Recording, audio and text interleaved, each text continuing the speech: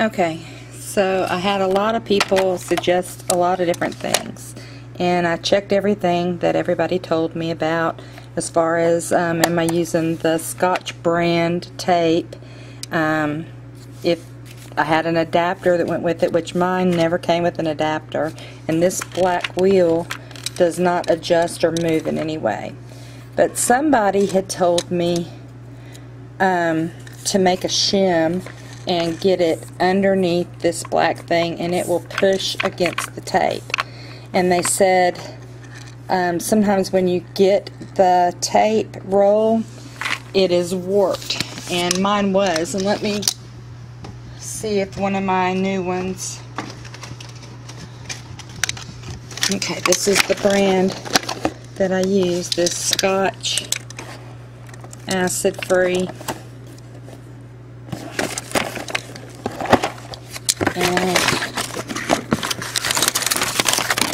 sometimes these rolls, this one appears pretty good, but sometimes these rolls are warped and they raise up in the middle, which this one, let me get the shim off. You can see here, let me tilt it. You can see how it's kind of raised up in the center here where not wound that tightly, it comes up and there's a little bump.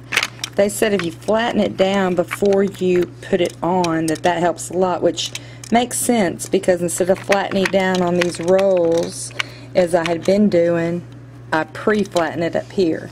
But this shim, you put, and I just made this out of a um, cereal box, and I cut it with some circle die cutters.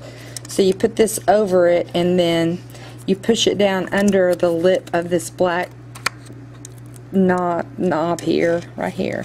Push the thing under it, and I'll have to put the camera down to show you this. But you push it down under the lip of this button, and that flattens against the roll of tape, and I haven't had that problem since I did this. So let me get this back under here, and then I'll show you how it looks when I tape something. Hold on.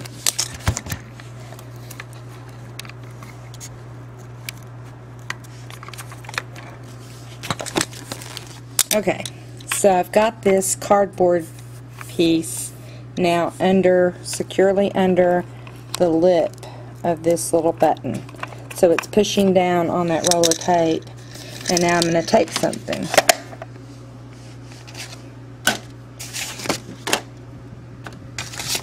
Okay, here's a scrap piece of paper. And let me get to where you can see the roller. Okay, rolling it. Oh, my paper is, I need something bigger. Hold on, I'm sorry.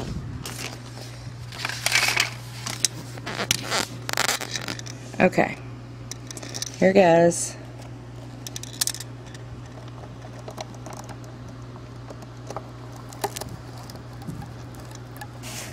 The tape is going down. Tape is going down, but the roller, I'm sorry, hold on.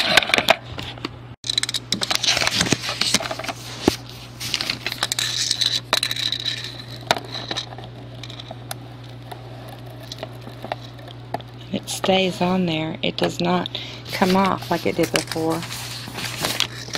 So this works. And if I heard from several people who have experienced the same problem. So if you try this um, shim and it helps you, then hey, that's great. I'm glad I posted my problem for because there were so many others experience the same thing.